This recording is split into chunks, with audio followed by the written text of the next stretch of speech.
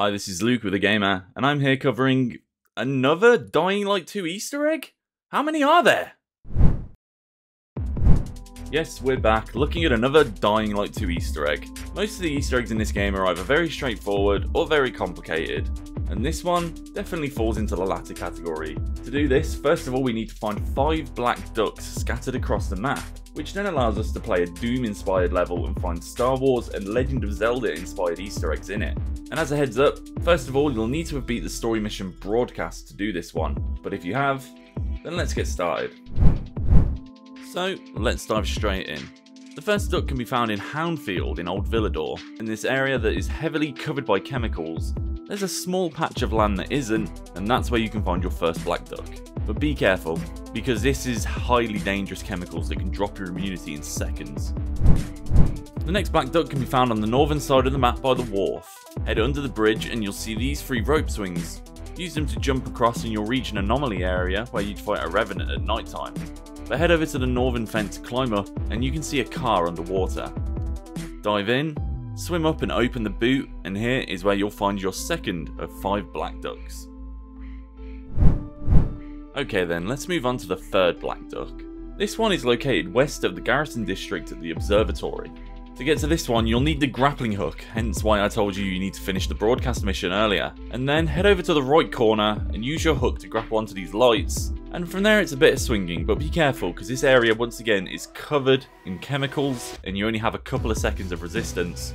Once you get up though, head over, jump past the corner, and then climb up onto this tower here that's just above the entrance. Climb into the tower, and there you will find the next black duck sitting on top of a little container. The next duck can be found in Lower Dam Aya. Just across on a little patch of land, it's mostly covered by chemicals, but there is one spot that is clean. So just swim or glide across, land over here, and you'll find Duck sitting on top of a skull, which is not ominous at all.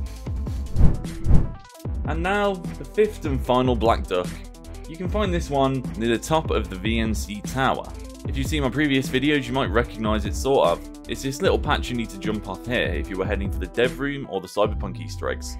But instead of jumping, walk to the end and you'll notice there's a little room in here. Drop down and inside there's an inhibitor crate and another crate with some items in it, but you're actually looking for a safe in the other corner of the room. So head over and enter the number of the beast, 666, to open the safe and get your final black duck. And now, with all 5 black ducks in hand, head to the VNC Tower basement. Head through this door and you'll find another elevator, and take it down to level 0, and you'll find this scary looking altar in the basement. So then start placing black ducks in front of all the power cables on these tables, and they'll all start to power up one by one.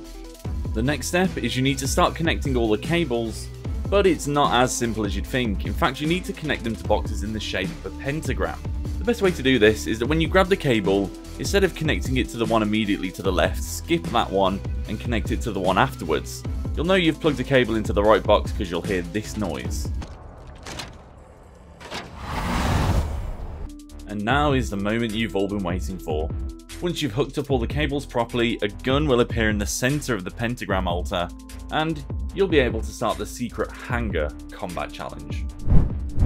So, once you start the challenge, you'll be given a somewhat unsubtle hint Welcome to Hell, a Kadoom shotgun 1993 times, and if you haven't figured it out already, this is a recreation of the original first level from the 1993 Doom. However, we're not finished yet.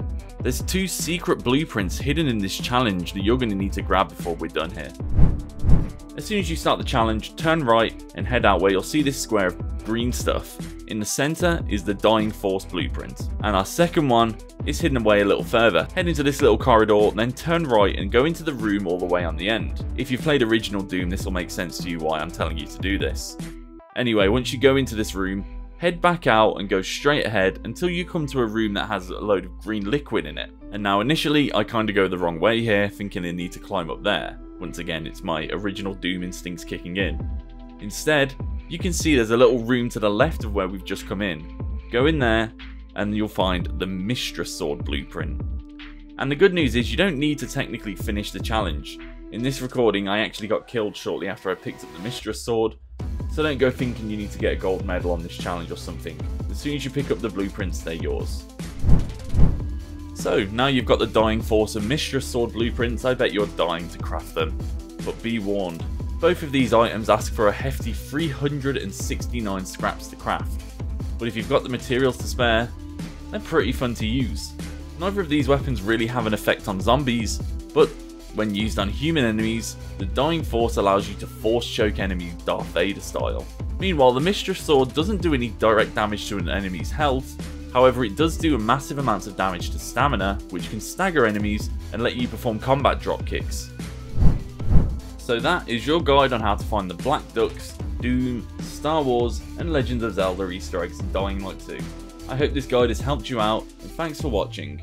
Please check out thegamer.com for more.